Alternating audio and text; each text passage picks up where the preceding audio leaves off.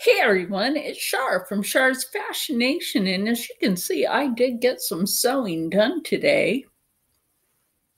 Indeed, I did. So, I know you won't really be able to hear me, but I'm going to step back and show you. I only have to put the hood on this, and this is a completed garment, but I want to show you, oh my gosh, like, look at the seams uh, this is for someone that's shorter than me. I told you I was going to do my friend's coat, but look at the seam work. You can do this. Even by hand, you can do this. Pockets right here. Very comfortable.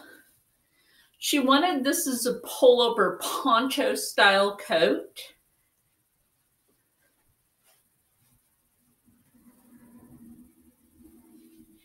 And so that's what I've done. And here, let me show you like the bottom bottom. Because I know this camera really isn't, you know, like wear whatever pants you want. She's, well, she's shorter than I am. That's why the sleeves look short on me. she's shorter than I am, so she has shorter arms. But it doesn't really matter. Um, what matters is is how a garment turns out, how you're able to get it done. And I left the back a little longer than the front on purpose um, so yeah. How you doing today?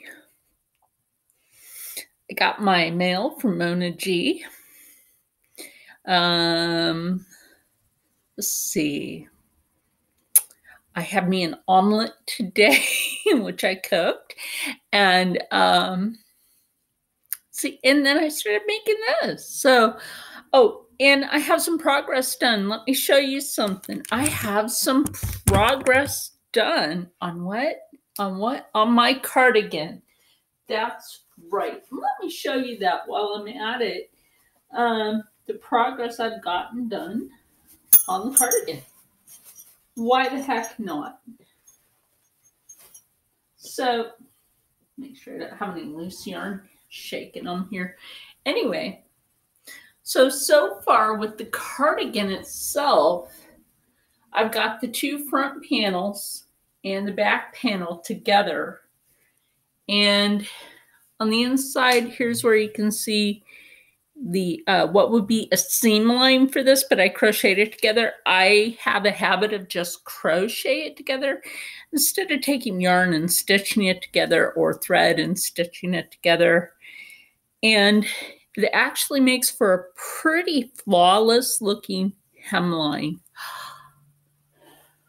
on that. So the only thing I'm doing is side panels for this and have to pick up some more yarn to make sleeves.